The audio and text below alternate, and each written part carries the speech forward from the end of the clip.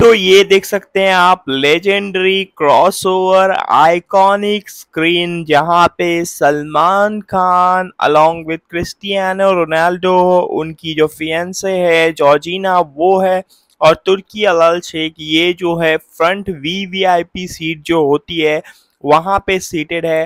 Battle of badders जो match है kick boxing का, वो देखने के लिए opening ceremony Riyadh Saudi Arabia में। सलमान खान को इनवाइट किया गया था, वहाँ की गवर्नमेंट के थ्रू और साथ ही साथ में काफ़ी बड़े बड़े स्टार्स इंक्लूडिंग क्रिस्टियानो रोनाल्डो ये भी बुलाए गए थे। तो ये एक फ्रेम में जब ये कैप्चर भी हो रहे थे तो सभी लोग, जो लोग हैं, आगे फ्रंट सीटेड में, वो दिखाई दे रहे थे। और ये एक आइकॉनिक क्रॉस ओवर हो गया। दोनों अपने जो बात करें हम क्रिस्टियानो रोनाल्डो फुटबॉल के हैं और सलमान खान एंटरटेनमेंट इंडस्ट्री के गोट माने जाते हैं। और इसके पहले भी हमने देखा था, जो डिनर पार्टी होस्ट की गई थी, वहाँ भी सलमान खान आए थे। वहाँ भी सलमान खान को काफ़ी बेहतरीन रिसेप्शन दिया।